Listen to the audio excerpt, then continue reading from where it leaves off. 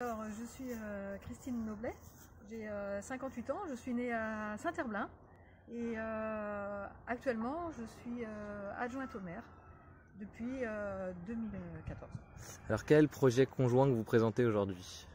Alors le projet que nous avons, euh, sur lequel nous nous sommes mis d'accord, c'est euh, une émanation, c'est un travail qu'on a réalisé depuis maintenant deux mois avec euh, des membres de Ensemble Saint-Herblain Autrement, Europe Écologie Les Verts et d'autres citoyens qui sont proches, qui sont engagés, qui ont des, responsabilités ou pas dans des collectifs, dans des assos. Et, on a d'abord travaillé à, enfin, dire un, un projet, des valeurs, des, des éléments qui sont pour nous fondateurs de ce qu'on a envie de voir dans notre commune. D'accord, donc quelles sont les raisons pour lesquelles vous décidez de ne pas suivre l'appel lancé par le maire sortant Alors, Euh, en fait, on est sur, euh, sur une méthode, sur une dynamique un peu euh, différente. Nous, on n'a pas pour le moment fait le choix d'être derrière une personne. Ce qui nous semble important, c'est d'abord de construire un, un projet. Et puis euh, ensuite, on, verra euh, comment ça se concrétise euh, dans une liste et puis dans, dans un programme.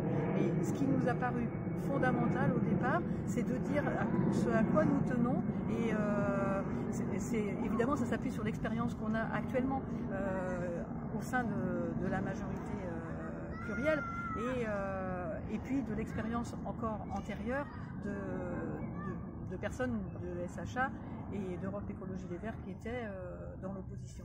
Donc en fait c'est fort de, tous ces- de toute cette histoire-là et de, de ceux qui nous ont rejoints euh, récemment que qu'on est plutôt parti sur une, dynamique inversée, c'est-à-dire du projet et ensuite on verra les personnes pour le porter après. D'accord, justement, quelles sont les prochaines étapes du projet?